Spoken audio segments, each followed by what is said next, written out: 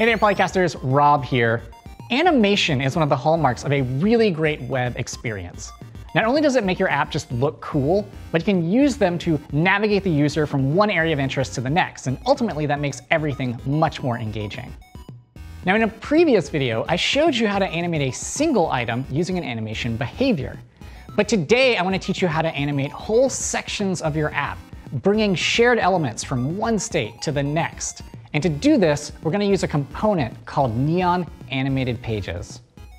Okay, so this is the first thing we're going to build. It is a very simple application, and we are going to add a little settings menu to this page so that when you click on it, it's going to do some really nifty transitions. It's going to actually slide the other page in, and then when you cancel it, it is going to sort of push the, the old page back over, right? So pretty cool stuff there. Uh, to start off, we are going to jump into our index file for this project. And the first thing we're going to do is we're just going to load in some imports. So we're going to pull in Neon Animated Pages as well as the Iron Flex Layout classes, which we talked about in our last episode. So we can use some layout classes. And then down inside of my body, I'm going to just drop in a DOM bind template, so I can use data bindings in this space. I'm going to add a neon animated pages element right there. And you can see that I've also gone ahead and actually applied some of those layout classes so that my body is using Flexbox to uh, allow me to, as you'll see in a second, flex the neon animated pages element so it takes up the entire screen. I'm also going to give it a selected attribute. And this is just like what we did in our Iron Pages uh, demo last time, where Neon Animated Pages is going to look at whatever the selected index is and display that child. So if the selected index is 0, it's going to display its first child. If it's 1, it'll display the second child, and so on, just like Iron Pages does. So that gives us a little bit of a boilerplate to work, for, work from. I'm going to add an ID to this template so I can select it down in JavaScript. And then I will write out a little script tag and just go ahead and query selector for my app there and give it an initial selected value of 0. So this way, animated pages is going to try to display its first child. We're going to drop in two more elements, list page and settings page. Those are going to be the two elements that we're going to transition between. So I'll go add some imports for them. And then we are pretty much ready to rock. So let's start by defining what the list page is going to look like. So we can switch over to that tab. And it's pretty typical element here. I've got my style tag and my template tab collapsed right now because they're full of just placeholder markup. So if I expand that, you can see there's a bunch of HTML in there. But you don't actually need to worry about any of that because it's all just dummy placeholder content for the sake of the demo. So a lot of stuff, but you can pretty much ignore it. Uh, to, to get rolling, though, I'm going to import a few items here. I'm going to import the neon animatable behavior, which you might remember from our previous episode on neon animation. And then I'm going to pull in two animations, slide from left animation and fade out animation. So slide from left is going to make the page appear to come from outside the left edge of the screen onto the center of the page like that. And then the fade out animation, as it implies, is just going to have the page fade out. So then let us go down here and you know, like we've done in previous animation examples, we'll create a properties object. We'll create an animation config property. And then I'm going to give it two animations, an entry and an exit animation. And we're going to use those animations that we imported. So our entry animation will be slide from left. Our exit will be fade out. We also need to remember to include that neon animatable behavior. Now, if, if this does not look familiar to you, please, please, please go check out our previous episode on neon animations. That will explain how these behaviors are working uh, and, and give you a little bit more context. But for those of you who are familiar with this, we can just kind of steam right along. So we've, we've added that behavior. We've, we've got our animation object all set up. So the list page is pretty much done. I think we're ready to switch over to our settings page. And again, you know, it's, it's full of dummy content in the template and in the style tag, so nothing that you really need to worry about there just yet. But we're going to do the same thing. We're going to we're going to import the neon animatable behavior and then a couple transitions, slide from right, and then slide right. So slide from right means basically come from off screen to being on screen. And slide right means you're already on screen, push off to the right hand side. Cool? So just like we were doing with our list page, we're going to go ahead and implement the behavior. So we're going to roll in neon animatable. We're going to create a properties object with an animation config property, entry and exit animations. And for entry, we're going to say that we want this guy to, uh, I believe we're going to slide in from the right. Yep. And then from exit, we will slide out to the right. And both times, the node is just going to refer to this element itself. So we've got our two pages. They've got their animations already set up and ready to go. Let's switch over to the browser. We can actually preview this. And what I'm going to do is a little DevTools trickery, which you've seen me do before. I've got Neon Animated Pages selected right here in the DevTools. And I've got my console open. So I can just hit dollar sign $0. And that will actually allow me to you know, grab a reference to the Neon Animated Pages element. And I can just set selected to a hard-coded value. So I'll just switch it to 1, and you'll see what happens. The page changes. I switch it back to 0. The page goes back. Right? Set it to 1. Page changes back to zero, page goes back. Now we've got this really cool relationship between these animations. You can see how they sort of play off of one another, which looks really nice on perhaps a mobile device of some kind. It is a little bit of a bummer, though, to have to manually change the selected value in this way. So let's fix that. What we're going to do is we're going to have our elements dispatch events. When we hear those events, we'll tell the animated pages element to update. So we can actually pop inside of the template there and I'm going to take the settings button and just give it an on tap handler and a method called show settings. And then to implement that, I'm just going to fire an event called show settings. I'll do the exact same thing on the settings page. I'll find its cancel button, another on tap handler. This time we'll say show list. And we'll do another event dispatcher, basically. So we're just going to fire off another event called show list. And then back in our index page, you know, this is going to be a little quick and dirty. But what I'm going to do is I'll just listen at the document level for those events. So normally you would probably have this, this neon animated pages and, and these elements. You'd probably have this inside of maybe like a bigger element of some kind. Uh, so you could use like on, on dash listeners to listen to these things. You could be like, oh yeah, I want to listen to on dash show settings. And when I hear that, that's when I will I'll, I'll, update my selected property. In this case, you know, we're just doing a quick little demo here, so we'll just listen right on the document. With that in place, I think we're actually good. We can switch back to Chrome. And now when we click our little button up there, it's going to fire the event, which is going to trigger the change in animated pages. And we'll click that cancel button, and likewise. Now, if you want all of your pages to use the same transitions, it would be really inconvenient to have to copy and paste that code over and over and over again. But thankfully, we can work around that using a feature that's built into the element itself. OK, for our second demo, I've got this very simple transition thing. Each one of these is a page. Each one of these big colored blocks is actually a page. And as I'm clicking, you can see that they all use the exact same transition animation. So looking at our code, it looks just like our old example. We've, we've got a neon animated pages element here, right? We're, we're using some, some layout classes. We're flexing it. We've got a, a selected binding right there. And then I've got this little handler that I've added just for demo purposes called onTap uh, where I, have got this next method, and I'm just looping through possible selected values. So we're, we're incrementing up until we, we reach the max, and then we're, we're looping around again. Now, I've got the same element in each of these slots, right? And I, I know that I'm going to want all of these to use the same transition. Even if I didn't have the same element here, maybe I would want all of them to use the same transition.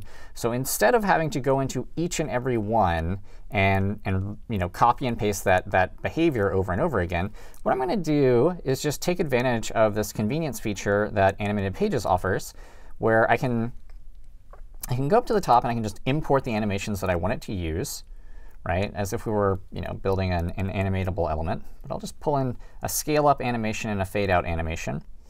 And then we're just going to tell animated pages, hey, for all of your entry animations, just play the scale up animation for, for all of these. It doesn't matter you know, what it is, just play that. And for all the exit animations, just play the fade out animation. So if you know you want all of your pages to use the exact same intro and exit animations. This is some shorthand that you can do that will save you quite a lot of typing if you have a bunch of different elements that all basically need the same transitions. So with this in place, we're actually pretty good to go. We can switch back to the browser and click on the thing, and you know, we're going to get that exact same behavior, and it saved us quite a lot of typing. Now, the last thing that I want to touch on is something that I, I, promised at the beginning of the video, this idea of being able to take elements and transition them from one page to the next, right? Actually pulling along what, what Neon Animated Pages refers to as shared elements. So let me show you an example of doing that. I've got a, a very simple app here, and it's got this sort of large sign-in button of sorts. And when I go click on that sign-in button, you'll see that it's going to transition and become the header of my next page. So let's do that again, right? So I've actually taken that element and sort of morphed it into an element on another page and sort of carried it from page one to page two. So again, this is a, a, shared element transition. And in particular, this one is called a hero transition or hero animation. So implementing this is actually pretty easy, though they, you know, the, the effects themselves look very sophisticated. They're pretty easy to, to implement once you know how. So in my index page, again, just like the previous examples, I've got neon animated pages, right? I'm, I'm, I'm flexing it. It's got the selected binding there. We're using a, a, a little cheating uh, next handler to advance the page. And I've got two elements inside of here. One is called uh, main page, though maybe I should have called that sign-in page, but main page and detail page, which is going to be the page with the header. So this is our main page, and I want you to notice that we've got this, this div with an ID of circle here. So this is really, really important. We're gonna, we're gonna come back to this later, but just know that it exists inside of this page. Before we do anything, I'm going to go up and check out our imports. So instead of the neon animatable behavior, I've actually got this thing which is very similar, though an even longer name, called neon shared element animatable behavior. So this actually implements all the same stuff as the neon animatable behavior, but it gives us this magical shared element extra awesome sauce, which we will use in just a second. And then I've got two animations that I pulled in here, hero animation and fade out animation. So let's, let's implement both of those right now.